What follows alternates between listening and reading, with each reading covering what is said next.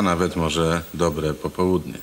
A zatem dobre popołudnie. Witamy Państwa w, no właśnie, w którym to już naszym programie? 36. Jesteś pewien? Nie. No właśnie, umówmy się, że 36 albo może 42. W każdym razie w kolejnym naszym programie, a było ich już sporo. Proszę Państwa, nasze programy to obserwacja życia, obserwacja tego, co się dzieje, obserwacja przemian. Przemian, które ciągle nam towarzyszą. Mało tego, przemian, które doprowadziły do przewartościowania, zburzenia, zbudowania, budowania na naszych oczach. To po prostu są rzeczy, które znajdą się na stronach książek, podręczników. Przepraszam, uniosłem się trochę historii. Oczywiście. A przecież y, nie budujemy wszystkiego sami. Obserwujemy, że przyjeżdża tu do kraju nie na dzień, nie na dwa, ale na znacznie więcej. Mnóstwo ludzi. Ale z całego świata przyjeżdżają nie tylko, żeby przemknąć przez Polskę i wydać trochę tych swoich boliwarów czy innych funtów. Oni chcą tu zostać. Tutaj rodzić dzieci, zapuścić korzenie, wsadzić i wyrosnąć drzewo, żeby im wyrosło. I domy pobudować i stać się Polakami z pokolenia na pokolenie. Chcą wrosnąć są, tacy tutaj. są, tacy są, przyjeżdżają i paru z nich dzisiaj w naszym programie poznacie. Cudze chwalicie, swego nie znacie. A więc spójrzcie teraz na nasz kraj ich oczami. Oczyma. Witam pana. Bonsoir. Bonsoir. Y, Z tego co wiem, jest pan y, naukowcem. Może parę słów o sobie. Oui, je suis canadien, jestem Kanadyjczykiem, ale z Francji. Moja rodzina oczywiście wy- wyrosła i teraz ja e, jako naukowiec e, przyjechałem do Polski. Myślę, że tu będę e, długo bardzo, może nawet do końca życia, bo tu warunki są idealne dla mnie. No, ale Idealne. proszę pana, my tutaj mamy Parfait. Parfait. kłopoty z nauką. Tutaj likwidujemy instytuty O. naukowe. To, to nie jest dobrze, to jest rodzaj, mnie się wydaje, blendu. Ja z m, specjalizacją e, e, ołów, Ołów. o, ołów, e, Bada pan związki ołowiu, bo pan jest oui, ekologiem. oui, i ekolog i naukowiec en general. E, I tu w Polsce jest coś takiego, że ja naprawdę od rana do wieczora mogę pracować bez klopoty, bez chodzenia, szukania olów. Ja w Polsce biorę marchewka, przełamuję marchewkę i wysypuję olów do retorty od razu. Ja listek zerwę z, z drzewa, czy y, petit fleur i fleur, trzask, olów. Wszystko mam tutaj pod ręką, ja nie muszę się prosić, nie muszę budować ochronnych bunkrów. Ja jestem naukowcem w swoim żywiole. Ja, ja bardzo, bardzo żytem Polska. Czy y, nie grozi to pana zdrowiu? A jak może grozić mojemu zdrowiu? Kiedy ja się asymiluję, ja rano otwieram maleńkie fenetry, okno i już wciągam olów. to- Albo to co pan innego. bada? I badam się, ja siebie badam. Ja nie muszę ludzi przyprowadzać, im zastrzyk robić, czy inna analiza. Ja sobie sam wieczorkiem, czy nawet jak już leżę w łóżku, badam sobie to wszystko i mam na komputerze wszystko wypisane, wysyłam tylko wyniki i oni piszą sieć, pracuj dalej, nie przyjeżdżaj, bo u nas mało olów, nie będziesz mógł pracować. A tak ja tutaj będę, może sobie nawet ołowianą taką rodzinę założę, ołowiane dzieci, wszystko będę miał jak trzeba. A więc, proszę państwa, Bardzo, jak się bardzo chce, Polska, bardzo. to można w Polsce rozwijać wszystko. I naukę też. Dziękuję panu. Merci bien. Merci.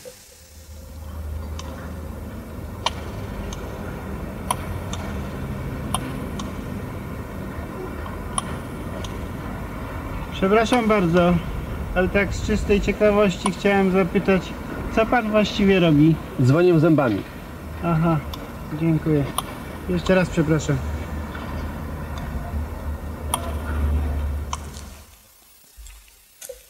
Dlaczego zdjął pan buty?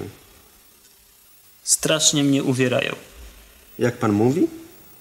Nie jak chodzę.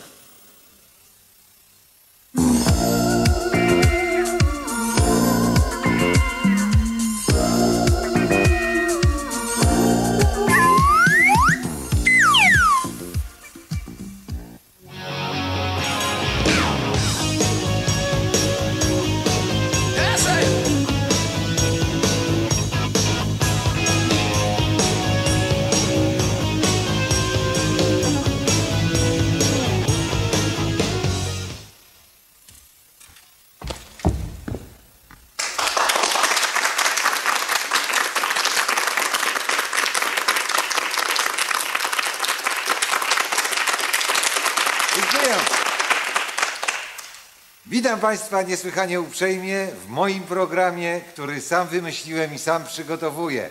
W moim programie przejawiają się różne osoby, które zapraszam, a tytuł mojego programu, który wymyśliłem, Godzina z prawdą. W moim programie, który wymyśliłem i który realizuję, występują znane osoby, y, które poznaję dzięki temu, że robię ten program i właśnie zapraszam tutaj te osoby. Oto nasz gość, którego nie trzeba przedstawiać.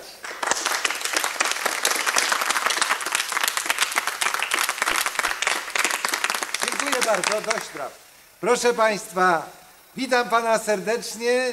Dzień dobry, witamy, znamy Pana wszyscy, proszę Pana i cieszę się, że Pan przyjął zaproszenie do mojego programu. Dziękuję Panu bardzo. Dziękuję bardzo, dziękuję za brawa. Właśnie chciałem powitać, dzień dobry powiedzieć. Dzień dobry Panu, proszę Pana, a więc, a więc zaczynamy nasz program, w którym godzina z prawdą dla Pana, w którym to programie y, będzie Pan mówił prawdę i tylko prawdę i tak jak się umówiliśmy, szczerze prawdę. Proszę się przysiąc. Nie No, panie redaktorze, nie, ja mówię, Proszę się przysiąc. Takie są nasze reguły. chciałem powiedzieć, że ustaliliśmy, Proszę się przysiąc, nic nie mówić, tylko się przysiąc. Słowo daję, że będę mówił prawdę. Już mówię prawdę. O, właśnie. Brawa. Dziękuję bardzo. Proszę pana, zaczniemy może od ciekawej przygody pana, najciekawszej. Proszę bardzo, czas start. W życiu Mówiłem już, że w życiu. To y, wydaje mi się, że na, jeśli można oczywiście państwa tym zaciekawić, to Przypominam, że mamy dla pana mnóstwo niespodzianek. Proszę, czas start. wydarzyło mi się to w Bengalu. Y, Po prostu w- Bengalu y, byłem kilka lat temu, byłem tam W naszym programie również będą goście, ale o tym będę mówił potem. Proszę bardzo. Właściwie większość mojego pobytu płynęła spokojnie, ale w przeddzień wyjazdu y, wieczorem byłem w hotelu. Postanowiłem odpocząć w moim pokoju i wtedy zauważyłem, że Proszę jest, szybciej, dlatego że godzina z prawdą ma swoje reguły czasowe. oczywiście bardzo przepraszam, chciałem powiedzieć, że będąc w y, Bengalu wtedy, przepraszam, pewnym momencie pod drzwiami wsunięto mi kopertę, która mnie zaskoczyła, bo nikt nie wiedział, gdzie jestem. I drżącymi rękami rozerwałem tę kopertę, wyciągnąłem ze środka świstek jedwabistego papieru, poczułem taki zapach jakichś ulotnych y, perfum or, orientalnych i tam było napisane, żebym wy, wyszedł z, z pokoju na drugą stronę ulicy, gdzie... To bardzo ciekawe. Bardzo ciekawe. Dziękuję panu bardzo. Kończymy pierwszy odcinek. Godzina z prawdą.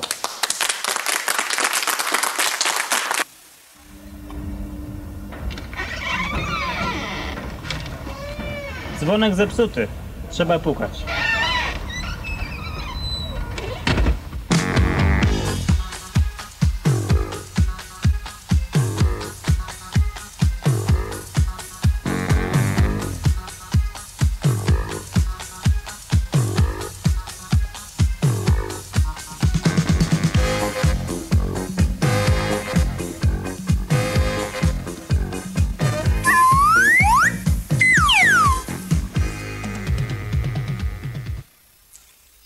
I co tam znowu z tymi butami?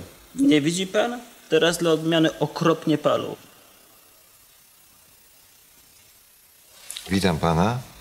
Jest pan naszym gościem. Pan jest przedstawicielem wielkiego zachodniego koncernu yy, i nie tak dawno pan jest w Polsce. O nie, ja jestem od niedawna jestem przedstawicielem wielkiego mm, zachodniego koncernu. To ja już powiedziałem, ale proszę nie mówić jakiego, żeby nie reklamować. No ja właśnie nie mówiłem jakiego. No to też y, tak usłyszałem. Proszę pana, proszę powiedzieć, y, dlaczego pan y, przyjechał do Polski? Proszę pana, bo ja marzyłem o tym od bardzo wielu, wielu years i dopiero teraz otwarło się takie opportunity i udało mi się skorzystać. To był konkurs Bardzo No trudno. właśnie, nie, nie Bardzo. było łatwo o tę posadę, z tego co wiem. Była Ale- konkurencja. No, ale konkurencja to mało powiedzieć, to było jakieś 400 tysięcy najlepszych menadżerów z całego świata, którzy walczyli, żeby się tu I dostać. pan wygrał ten konkurs. Ja wygrałem ten konkurs. My serdecznie gratulujemy, ale proszę powiedzieć, y, co było tak atrakcyjnego w tej posadzie? Pewnie wysoka pensja. O, skąd? My wszyscy moglibyśmy oddać nasze pensje na inny cel, żeby tylko tu się dostać i, i cały świat tu chce pracować w Polsce teraz. To znaczy, co tutaj takiego jest? Co was tu ściąga? Tu jest, tu jest paradise, raj dla, dla menadżera, dyrektora czy, czy prezydenta.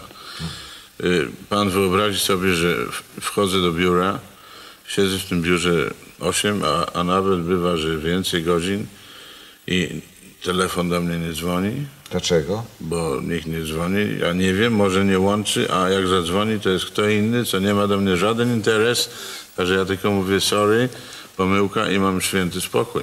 No ale przecież... Faks, weźmy no faks, faksy, prawda? są faksy. U mnie w biurze, y, nie będę mówił gdzie, żeby nie rozszyfrowywać tego miejsca, ja rano nie mogłem otworzyć drzwi od mojego gabinetu, bo tam było sterty papieru z faksu, informacje z giełdy, Szły. z całego świata. A tu nie dość, że mnie ten faks niczego nie blokuje, to on mnie nawet jedną kartkę wciągnął, także mam mniej. Naprawdę? Tak jest. I dlatego pan walczył o tę posadę? Ja marzę o tym i, i chcę tu zostać na całe życie. Tu jest relaks.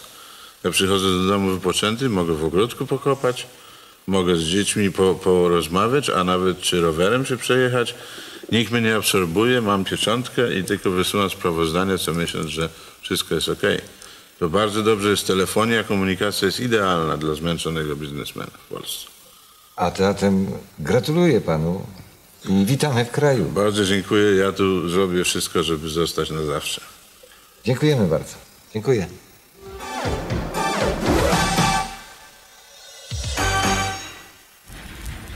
Przepraszam pana bardzo, podobno gdzieś miał się tutaj jakiś wiec odbyć. Nie słyszał pan o wiecu? Dziękuję bardzo. Dzień dobry, przepraszam. Czy słyszał pan coś o wiecu? Wiec miał się tutaj odbyć jakiś. Przepraszam bardzo. Przepraszam pana, czy słyszał pan coś o wiecu? Podobno gdzieś tu ma mieć miejsce. Dziękuję bardzo. Przepraszam.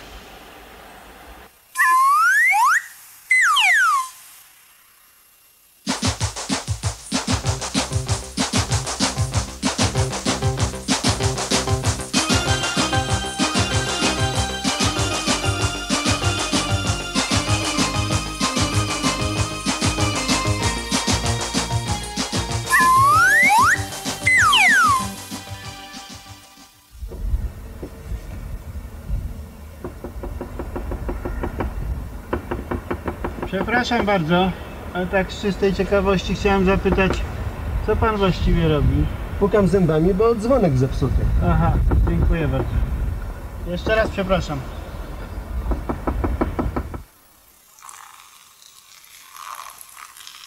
Przepraszam, co pan robi? Nie widzi pan? Wodę leję. Ale do butów? Tak. Strasznie piją.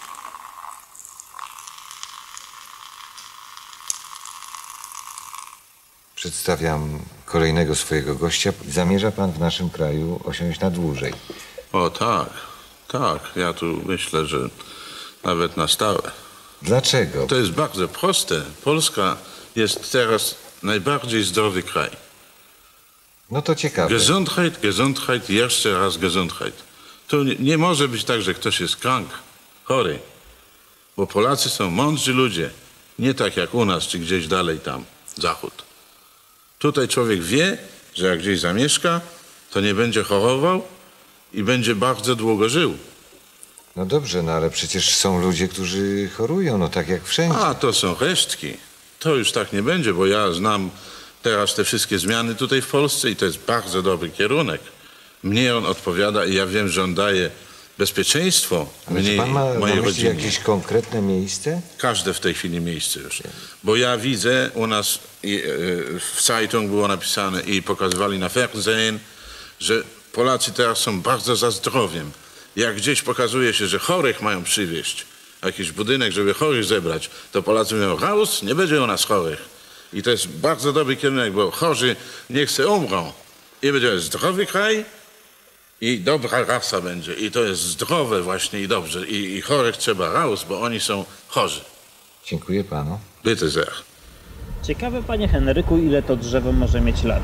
Ciekawe, ciekawe. A wie pan, w tym względzie mógłbym pana ciekawość zaspokoić. Pięć ma. A po czym pan poznał? Po swojach oczywiście, wystarczy policzyć. No podejdźmy. Niech pan pokazuje palcem, ja będę liczył na głos.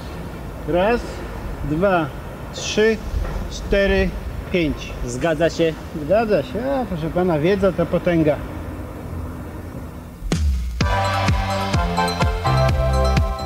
A teraz finałowa rozgrywka. Zawodnicy są już gotowi. Za chwilę będzie można wygrać wszystko w naszym teleturnieju. I pierwszy zawodnik szykuje się do rzutu. Prosimy bardzo. Tak, to pan. Prosimy. Ha, ha, ha, nie oczywiście skucha, skucha, skucha.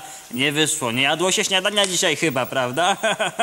No oczywiście nie każdy może wygrać. E, Przed damą teraz wielka szansa. Prosimy damę, damę. Bierzemy zamach i... Oho, coś tam poszło na plecach. Chyba na szwie, więc nie będą wydatki spore, aczkolwiek przypominam, że telewizja nie zwraca pieniędzy za podróż i za porwane suknie oraz spodnie. I przed panem teraz największa szansa.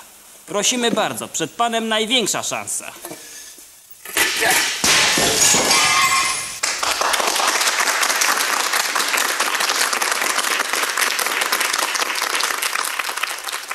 Dziękujemy serdecznie Państwu, gratulujemy Panu.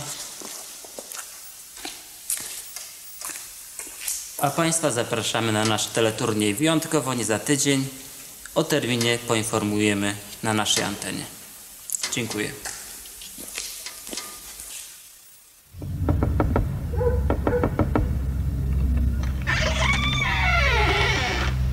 Niepotrzebnie pan puka. O tej porze już nikogo nie ma. Jutro o ósmej. Do ósmej jutro to ja mam dentystę.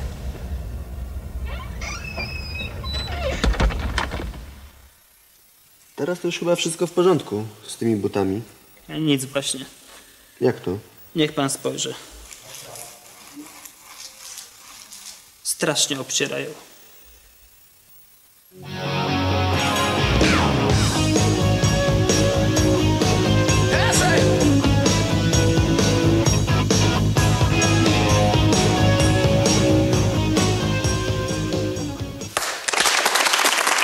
Proszę Państwa, to... dziękuję. Proszę Państwa, a więc wracamy do naszej godziny z prawdą. Witamy Pana ponownie w drugim naszym odcinku. Stop prawa, proszę Pana. Wycisnęliśmy już Pana, ca, całą pa, z Pana prawdę, ale coś za coś. Teraz my dla Pana mamy niespodzianki. Dziękuję. Niespodzianki te przygotowałem. Proszę pana i chyba pan poznaje osobę, która siedzi koło mnie. Oto pańska matka. Czy pan poznaje? Tak, właśnie chciałem powiedzieć, że to jest moja matka. No brawo! Ale napięcie rośnie, napięcie rośnie, bo kto siedzi koło pańskiej matki? Poznaje pan? Tak, A skąd pan poznaje? to jest brat mojej matki. Brawo! Nasze reguły są takie, co pan chciał jeszcze powiedzieć? Nie no, mówię, że wiem na pewno, bo razem przyjechaliśmy tutaj radio taksi do telewizji z matką i I z bratem, bratem. matki. Brawa! A więc tu kończymy nasze niespodzianki, a teraz, proszę pana, seria pytań dziennikarskich do pana, czyli pojedynek, nasz bohater i dziennikarze. Panie redaktorze, czy pan jakieś przygotował pytania? Nie, nie mam. Nie ma pan pytań? A może to i dobrze. Dziękujemy panu bardzo. Brawa! Ale Ale przecież jest tu publiczność, którą tu zaprosiłem. Są tu moi znajomi, którzy teraz pana przepytają. Proszę bardzo, są pytania? Proszę, niech pani wstaje i mówi. Byśmy wszyscy, jak tu siedzimy, dowiedzieć się, jak pan się tu znalazł. No proszę ba- bardzo. No w- właśnie mówiłem, że zamówiłem z domu radiotaksy i z, z matką i z, z wujem przyjechaliśmy tutaj. Z bratem pańskiej matki i z matką. Brawa! Dziękuję. No a teraz kończymy nasz program. W związku z tym teraz czas w godzinie prawdy dla pana wyłącznie. No więc ja bardzo chciałem... Proszę teraz- ciszę. Przepraszam, chcia, chciałem korzystając... Nie pana proszę, tu pana proszę, bo pan klaszcze niepotrzebnie. Ja nie, nie klaskałem. Nie pan, pan. To mogę teraz już... Teraz dla pana, tylko się spieszyć proszę, bo godzina z prawdą już się, prawie się kończy się. Wiem, dlatego właśnie chciałem... Niech pan siedzi. Mikrofon panu wypadł. Niech ktoś podejdzie. Szybnie panu. Nie mogę się naprostować. Ale szybciej, bo czas leci. To może ja po prostu w ten Niech pan sposób do ręki mówi, tak jest. chciałem po, po, po powiedzieć, To jest na żywo program. korzysta, korzystając z obecności w telewizji chciałem poz, pozdrowić moją matkę i brata wuja, znaczy brata matki, czyli mojego wuja, z którymi będę wracał znowu do domu. Tak, tak. A więc brawa za to pozdrowienia. Dziękuję panu serdecznie. Dziękuję państwu. Dziękuję panu. Dziękuję państwu. Proszę państwa, godzina z prawdą.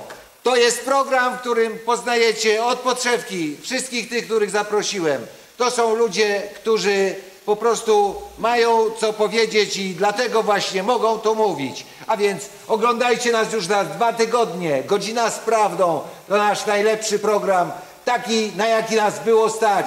A myśleliśmy nad nim. Myśleliśmy, sam myślałem. Do zobaczenia. Cześć!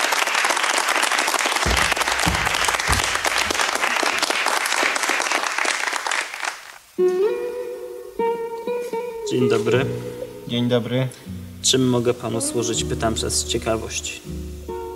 Lampkę wina proszę. Dużą? No, taką normalną.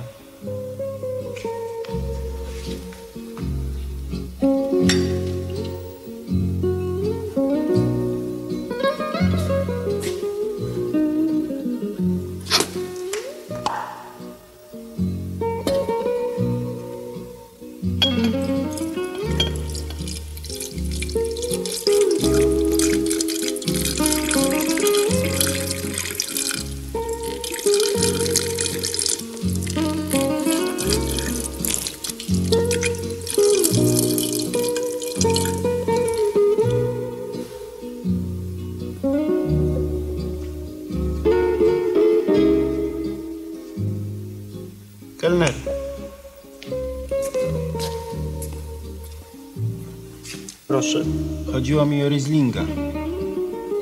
To nie mamy.